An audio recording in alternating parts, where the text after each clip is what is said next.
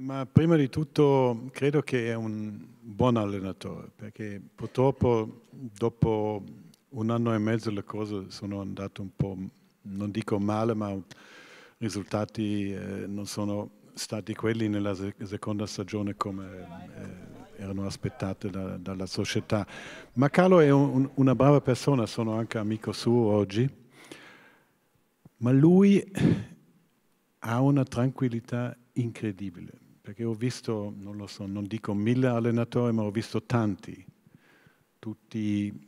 più o meno bravi, con le loro caratteristiche tecniche, tattiche, ma lui era sempre tranquillo, anche nei momenti difficili non ha perso mai la sua tranquillità. E